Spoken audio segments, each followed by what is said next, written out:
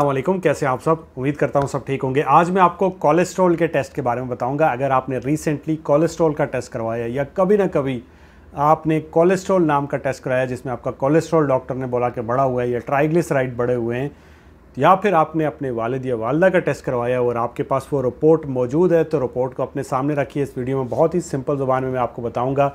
कि आपका कोलेस्ट्रॉल कितना होना चाहिए आपका एचडीएल कितना होना चाहिए आपका एलडीएल कितना होना चाहिए वीएलडीएल कितना होना चाहिए ट्राइग्लिसराइड कितने होने चाहिए। सो so, ये जो टेस्ट है इसको लिपिड प्रोफ़ाइल टेस्ट या लिपिड पैनल टेस्ट भी कहते हैं। लिपिड मतलब जो फैट होते हैं उनको देखा जाता है। आपके ब्लड के अंदर जो फैट होते हैं उनको मॉनिटर किया जाता है। लाइक जो कोलेस्ट्रॉल होता है कोलेस्ट्रॉल की तरह का एक फ़ैट और होता है जैसे ट्राइग्लिसराइड होते हैं वो भी इसी में देखा जाता है। सो so, चलते हैं रिपोर्ट की जानब। सो सबसे पहली जो चीज़ है, वो देखी जाती है कोलेस्ट्रॉल या टोटल कोलेस्ट्रॉल करके आपकी रिपोर्ट के ऊपर एक लिखा होगा नाम। अब ये कितना होना चाहिए? ये less than 200 milligram per decilitre होना चाहिए। 200 से कम होना चाहिए। अगर आपका कोलेस्ट्रॉल 200 से 240 के दरमियान में दिखा रहा है लाइक अगर 210 दिखा रहा है 220 दिखा रहा है 230 दिखा रहा है, ठीक है?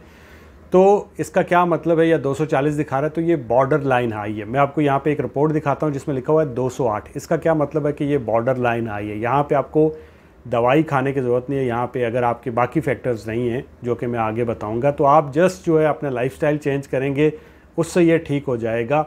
यानी आप अपने वज़न को कम करेंगे वॉक करेंगे, जो फैटी फ़ूड है, उससे अवॉइड करेंगे, बाहर का खाना नहीं खाएँगे मीट वगैरह को कुछ अरसे के लिए थोड़ा बंद कर देंगे। तो ये नॉर्मल हो जाएगा। इसी तरह अगर ये 240 से ज़्यादा आ जाता है, मान लीजिए आपका 280 आ गया 300 आ गया तो फिर आपका डॉक्टर स्टेटन नाम की एक टैबलेट आपको देगा जो कि रात को खानी होती है एक टैबलेट लेकिन ये टैबलेट आपको खुद से नहीं लेनी है।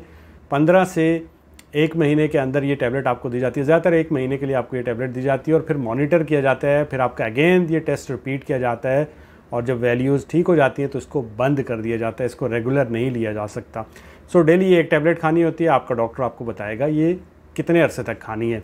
सेकंड पे जो चीज़ आपको नज़र आ रही होगी वो होगी H D L H D L क्या होता है? ये अच्छा वाला कोलेस्ट्रॉल होता है गुड कोलेस्ट्रॉल के नाम से आप इसे याद रखिए हाई डेंसिटी लाइपोप्रोटीन इसे कहते हैं। बट ये अच्छा वाला कोलेस्ट्रॉल आप या, याद रखिए। आपकी रिपोर्ट के ऊपर जो एच डी एल है ये याद रखिए कि ये हमेशा चालीस से ज़्यादा होना चाहिए।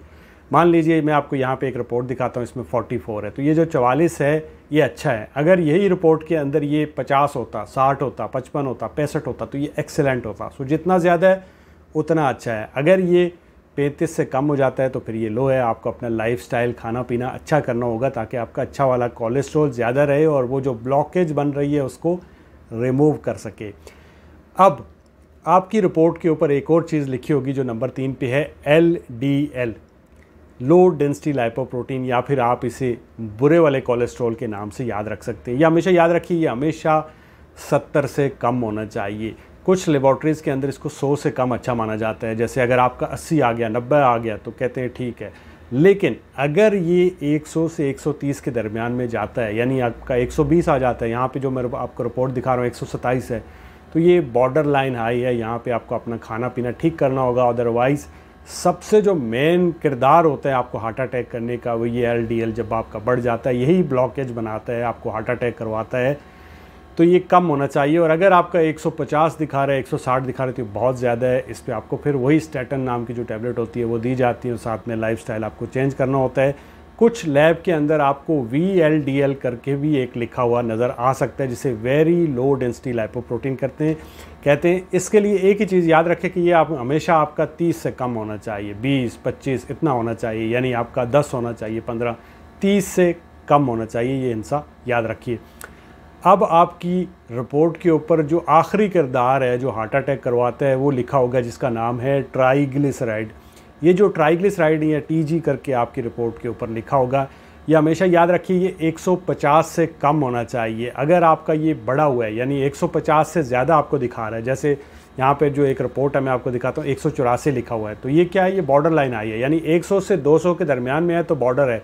बॉर्डर लाइन आई है, यानी आपका जो है वो बॉर्डर पे गई हुई है फोर्स तो आपको अब अटैक करेंगे, दुश्मन अटैक करेंगे तो 100 जो है, वो 150 से 200 के दरमियान में है तो ये बॉर्डर लाइन आई है।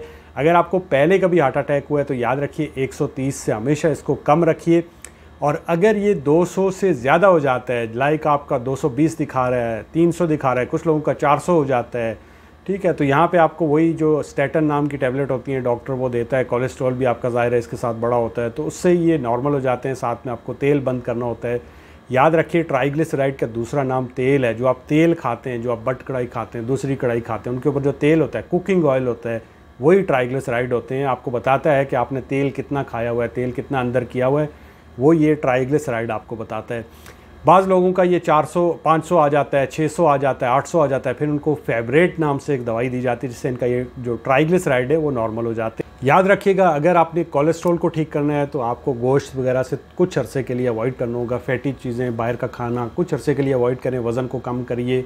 वॉक करें, पानी का इस्तेमाल ज़्यादा करें। अगर ट्राइग्लिसराइड बढ़े हुए हैं तो आपको जो कुकिंग ऑयल है, वो बंद करना होगा। वो मेन सोर्स है, उसके साथ स्ट्रेस नहीं लेनी और वज़न कम करना है और साथ में वॉक करनी है, पानी पीना है, ये सारी चीज़ें आप करके ये दोनों चीज़ें ठीक कर सकते हैं। इसके ऊपर, दोनों के ऊपर, कोलेस्ट्रॉल के ऊपर ट्राइग्लिसराइड के ऊपर भी मेरी वीडियो है।